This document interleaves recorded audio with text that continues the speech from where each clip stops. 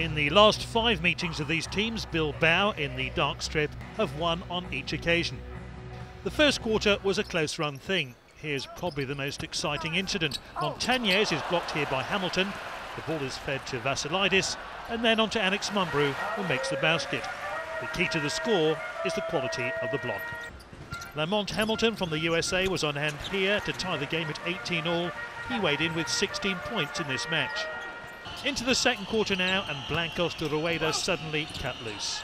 Ian O'Leary from California added two points, and at this stage, the away side led by nine.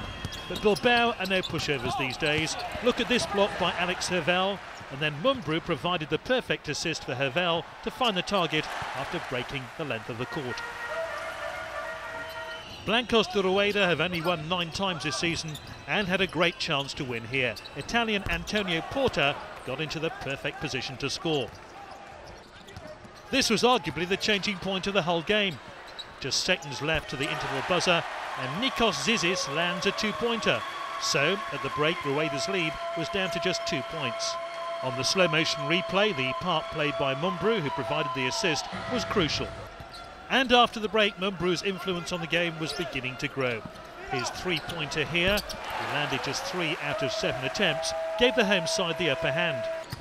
And Bilbao's lead was soon into double digits.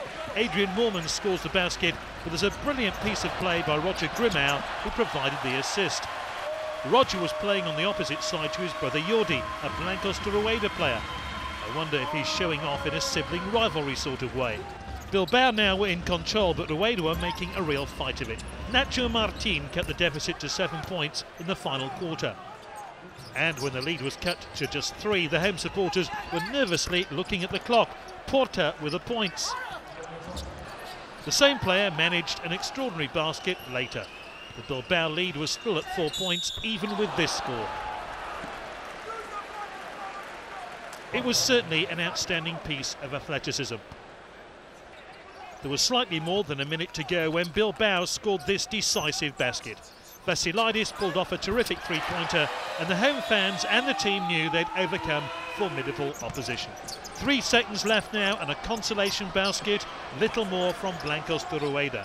Nacho Martin had the last score of the match and from here Bilbao hung on to possession and the win. Bilbao are now fourth but level on victories with Barcelona they could well be one of the surprise teams of the end of season playoffs.